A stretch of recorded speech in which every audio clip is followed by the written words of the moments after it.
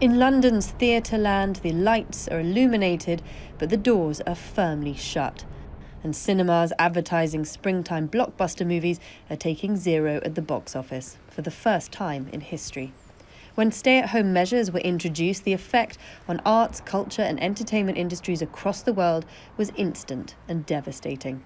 A sector worth $13 billion to the UK economy alone now entirely shut down. With many music concerts and theatre productions cancelled for good, it's the smaller independent venues that will suffer enormously. We went dark on the 16th of March. And because we are a receiving theatre, most of our income, virtually all of our income, comes from our box office. So the minute we can't show a production and have the audience coming in, obviously income and then cash flow for the organisation becomes uh, incredibly critical. The film sector is also hurting.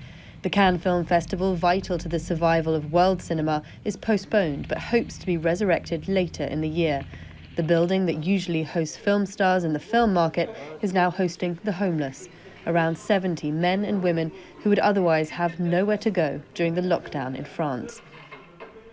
Hundreds of films have halted production or delayed release, putting many self employed people immediately out of work. Instead, some set builders, technicians, and engineers are offering their skills to help build makeshift hospitals for the overstretched NHS while the Arts Council is hoping their new emergency fund will help keep institutions afloat. We've already uh, put together a package of emergency funds from the Arts Council of £160 million. Um, but even with the government interventions that have already been announced, we know that that's not going to be enough. Perhaps once quarantine is over, there'll be more appetite for the cultural, communal experience than ever before. Right now, streaming platforms like Netflix and Apple TV are coming into their own. But national theatres, royal ballets, and classical orchestras are also putting their content online for free, finding an entirely new audience.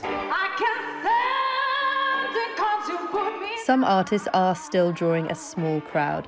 In Spain, a singer performs nightly from her balcony to local residents in Barcelona. In Italy, scenes from classic films are projected onto buildings, something for people to share in isolation. Charlie Angela, Al Jazeera, Southern England.